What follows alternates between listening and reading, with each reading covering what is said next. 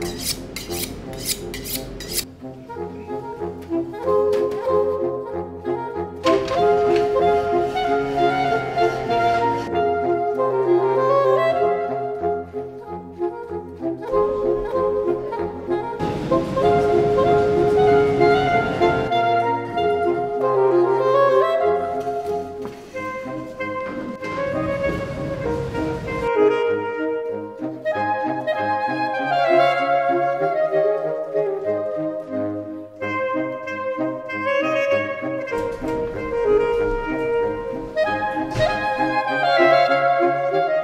stolik numer 4 dwie osoby, stolik numer 5 trzy osoby.